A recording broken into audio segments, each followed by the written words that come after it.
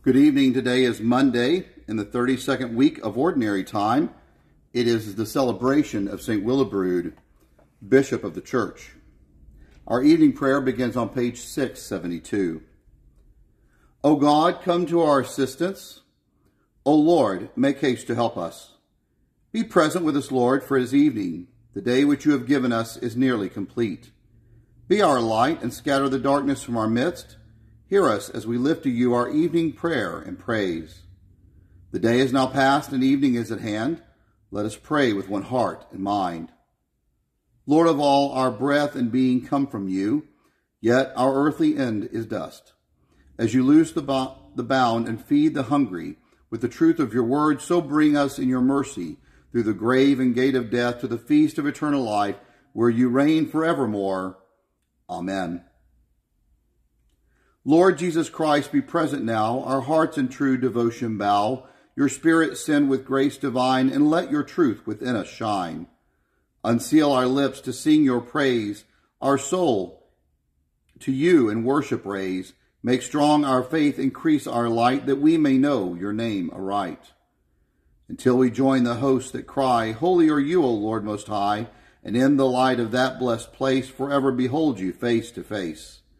Glory to God the Father, Son, and Holy Spirit, three in one. To you, O blessed Trinity, be praised throughout eternity.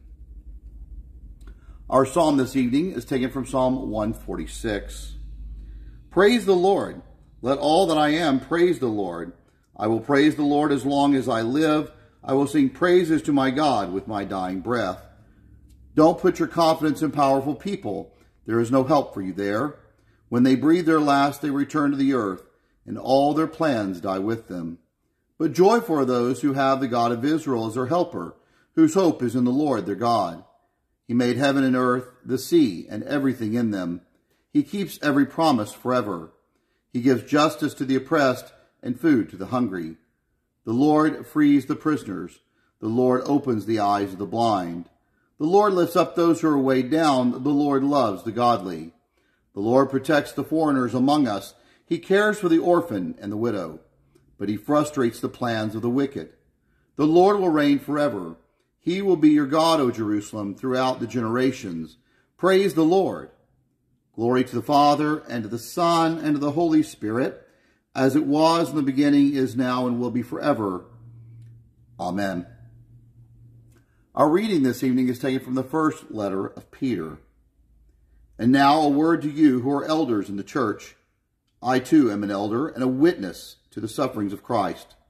And I too will share in his glory when he is revealed to the whole world. As a fellow elder, I appeal to you. Care for the flock that God has entrusted to you. Watch over it willingly, not grudgingly. Not for what you will get out of it, but because you are eager to serve God. Don't lord it over the people assigned to your care but lead them by your own good example. And when the great shepherd appears, you will receive a crown of never ending glory and honor. All praise to God, the Father of our Lord Jesus Christ, who has bestowed on us in Christ every spiritual blessing in the heavens. God chose us in him before the world began to be holy and blameless in his sight. God decided in advance to adopt us into his own family by bringing us to himself through Jesus Christ. Such was his will, and it gave him great pleasure. So we praise God for the glorious favor that he has bestowed on us in his beloved. In him and through his blood we have been redeemed and our sins forgiven. So immeasurably generous is God's favor to us. God has given us the wisdom to understand fully the mystery, the plan that he was pleased to decree in Christ. A plan to be carried out in Christ in the fullness of time to bring all things into one in him in the heavens and on earth. Glory to the Father and to the Son and to the Holy Spirit, as it was in the beginning, is now, and will be forever. Amen. In the evening we call to you, O Lord, be merciful and hear our prayer. Throughout the ages you have brightened your church through distinguished leaders and holy men and women. Let us always rejoice in the splendor of the truths they taught. You forgave the sins of your people when holy leaders like Moses sought your compassion. through their intercession, continue to purify and sanctify your holy people. In the midst of their brothers and sisters, you anointed your holy ones and filled them with the Holy Spirit. Fill all those who preach and teach among your people with the same Spirit. You yourself are the hope and strength of our holy teachers and pastors. Let none of them, won at the price of your blood, remain far from you. The shepherds of your church keep your flock from being, scat- from being snatched out of your hand. Through them you give your flock eternal life. Save those who have died, those for whom you gave up your life. And now, as our Savior Christ has taught us, we boldly pray Our Father, who art in heaven, hallowed be thy name.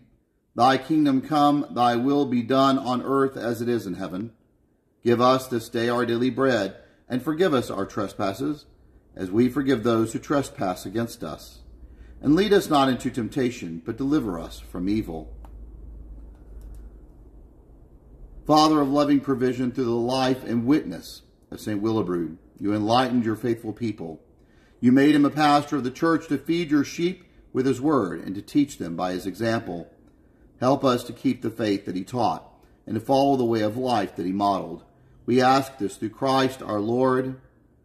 Amen. Into your hands, O Lord, I commend my spirit, for it is you who will redeem me, O Lord, my God. Now, O Lord, dismiss your servants in peace, for your word has been fulfilled. Our eyes have seen the salvation that you have displayed in the sight of all the people, a light to reveal you to the nations and the glory of your people, Israel. May the glory of the Lord rest upon us, and in his peace may we be blessed. In the name of the Father, and of the Son, and of the Holy Spirit. Amen. May God's help remain with us always, and with our loved ones, both near and far away May God grant to us a quiet night and a peaceful death. May souls of the faithfully departed through the mercies of God rest in peace. Amen.